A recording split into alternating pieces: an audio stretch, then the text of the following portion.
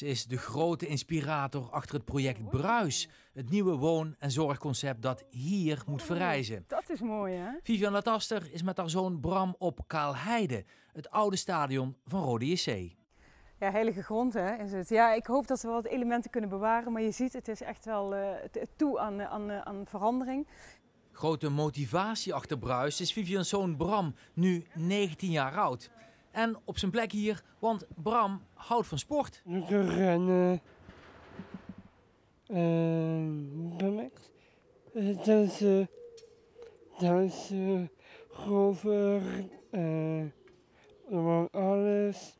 Nou, Bram kan, uh, het is uh, ontzettend lief. Maar hij, kan, hij heeft altijd ondersteuning nodig. Eigenlijk bij alles. Bij alles wat hij doet. Van, aan, van hele basale dingen, wassen, eten, aankleden. Uh, alles. Vivian maakte zich grote zorgen over de toekomst van Bram.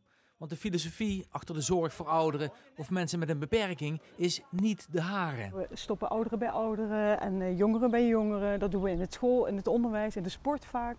Uh, maar ook in de zorg. Nee, ik laat het hier liggen, maar als ik weg ga, heb ik het altijd bij. Ja, ja. ja, ik denk elke ouder die een jongen heeft met een beperking zal voelen wat ik voel.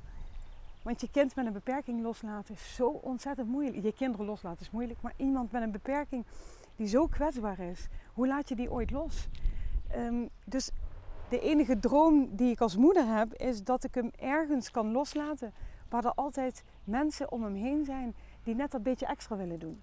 Kijken, Bram bewijst ondertussen dat hij alle vlaggen van de wereld herkent. Het zou nog een mooie quiz kunnen zijn tussen de generaties. En juist dat samen zorgen, jong en oud, dat is hoe Vivian het project Bruis voor zich ziet. Bram vindt het heel leuk om champignons te snijden voor de pasta, dus die helpt misschien in de keuken. Maar de ander wil het achter de receptie, of in de brasserie, of in de housekeeping. En dan komen ze elkaar tegen, gaan ze toch een beetje voor elkaar zorgen.